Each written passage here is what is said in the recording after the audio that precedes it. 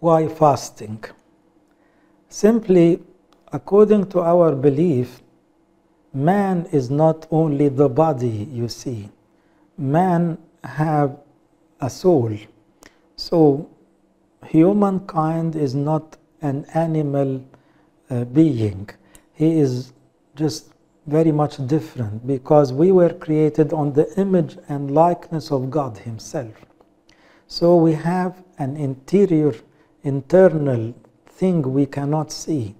And this internal thing is much more important than the external. Our bodies will last in this life for some years and then we all know the end of this.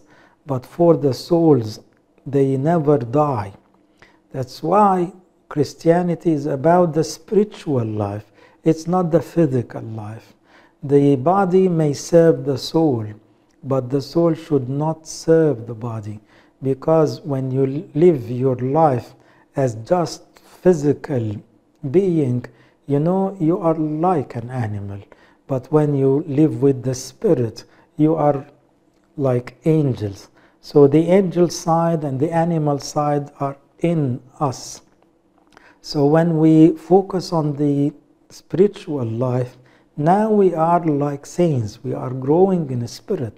We will be the like angels in heaven, exactly what our Lord Christ said.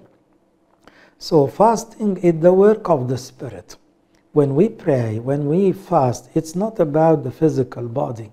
It's the time when we spend more time focusing on God, focusing on our spirits, growing in the spirit, spending more time loving God and loving people, showing, expressing our love to God by, you know, putting some limits to our body needs.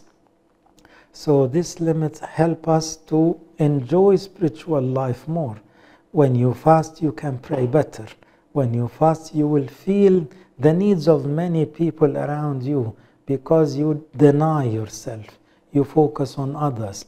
That's the expression of Christian love, that you do not see yourself but you see others. And also, with the fasting period, you can focus on the life of Christ Himself because we have many times of fasting. Some time may be related to the period of uh, waiting for his crucifixion and resurrection. So that's the time, the optimum time of repentance.